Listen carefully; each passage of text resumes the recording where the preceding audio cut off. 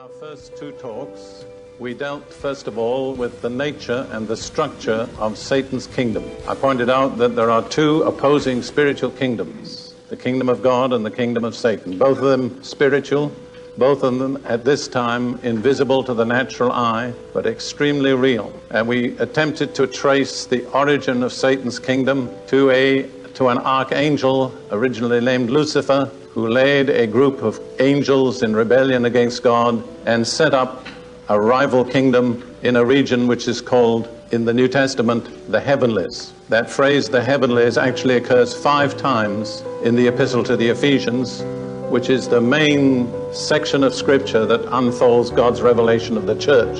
I think it's no accident that the emphasis there is on the heavenlies. The Church of Jesus Christ is supposed to be operating in the heavenlies against another kingdom also established in the heavenlies. And for the benefit of those who are confused, I would like to point out that in the Bible, from the first verse onwards, the word heaven is plural. There is more than one heaven. And somewhere between our planet and God's throne and the heaven of God's presence, there is a rival satanic kingdom in opposition to God.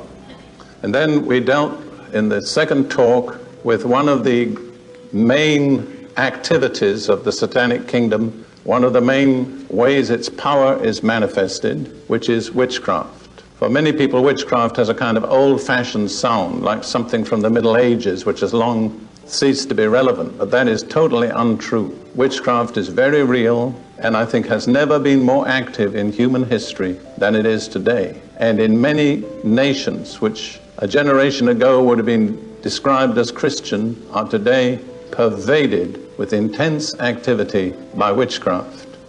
I tried to give a brief definition of witchcraft in three areas. First of all, as a work of the flesh, one of the ways that man's fallen nature expresses itself, and I gave the three key words to manipulate, to intimidate, and to dominate. The aim of witchcraft simply is to control other people and get them to do what you want them to do. And it does not use legitimate means. Witchcraft is closely allied with rebellion. It's the outworking of man's rebellion against God.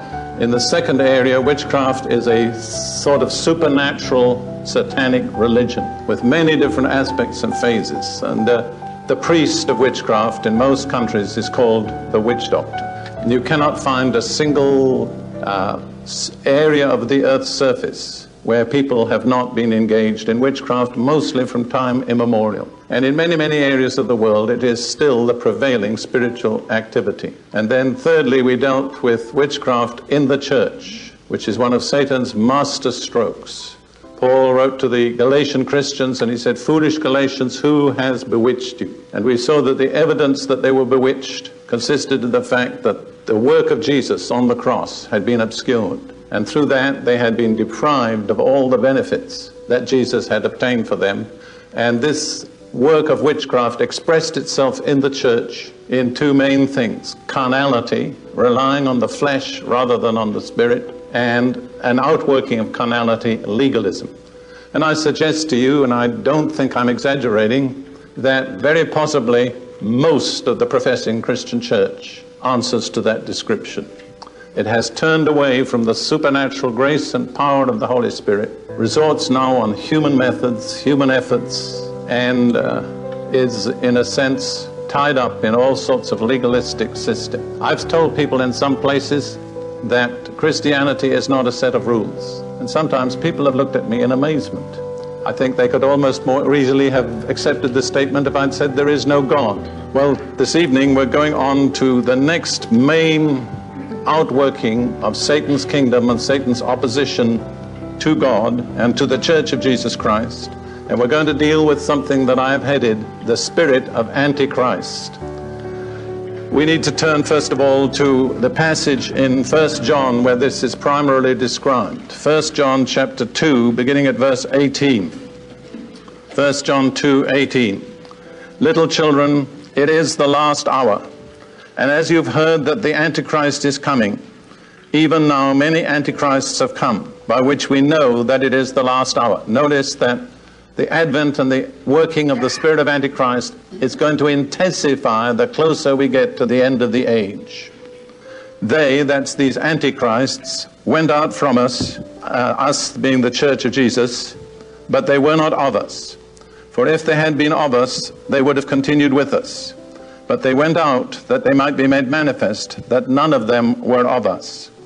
But you have an anointing from the Holy One, and you know all things, or an alternative reading, you all know, which is probably the right one.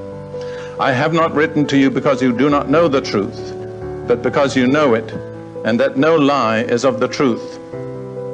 Who is a liar but he who denies that Jesus is the Christ? He is Antichrist who denies the Father and the Son. Whoever denies the Son does not have the Father either. He who acknowledges the Son has the Father also. We see there that, let me first of all try and just briefly explain the real meaning of that strange phrase, Antichrist. You need to bear in mind, first of all, that the word Christ it's from a Greek word, Christos, which exactly corresponds to the Hebrew word Mashiach, from which we get Messiah. It's amazing how many Jews and Christians do not realize that Messiah and Christ are two different words for the same thing. So when we say Antichrist, that means anti Messiah. And it's probably easier for us to get the picture if we use the phrase Messiah. So and then again, the, the preposition, I hope you know what a preposition is. If you don't, don't worry. Uh, you can get by without it. Heaven is open to those who don't know what prepositions are. But anyhow, the preposition anti is a Greek preposition, and it has two meanings, and both of them apply. First of all, it means against. So the first operation is against Messiah. The second meaning is in place of. And so the ultimate purpose is to put a false Messiah in place of the true Messiah. So this force operates first of all by excluding Messiah, and secondly by replacing him by a false Messiah. So the total operation is in two phases. And when you begin to recognize that, I think you will see that the spirit of Antichrist is extremely active almost throughout the whole professing church. Ruth and I have friends in America who belong to a church which would be called in the old line evangelical stream. I don't want to name the denomination. And they said to me one day, they said, in our church, you can talk about Buddha, you can talk about Socrates, you can talk about Plato, you can talk about Martin Luther King, and no one gets upset. But if you talk about Jesus, everybody gets upset. Now, what is that? It's the spirit of Antichrist, see? It's in its first phase, getting rid of the true Messiah.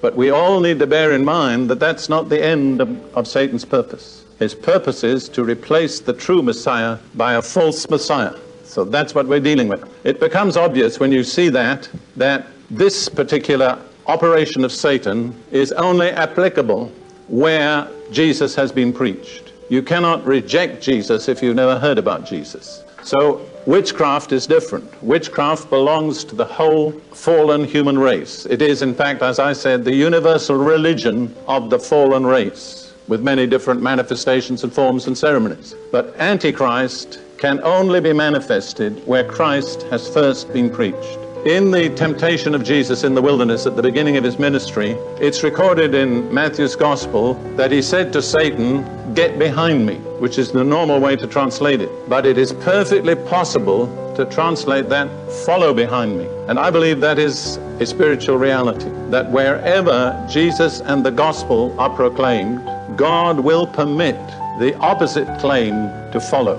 In fact, humanity is going to be forced to choose between the true Messiah and the false. It's part of God's way of dealing with us that He doesn't exclude the false options. And it's our responsibility to make the right choice. I think this is extremely relevant to our generation. I believe this generation, in one form or another, is going to have to make a decision true Messiah or false Messiah. And the spirit of Antichrist is extremely active, much more than most of you have any idea, pressuring us into the wrong decision.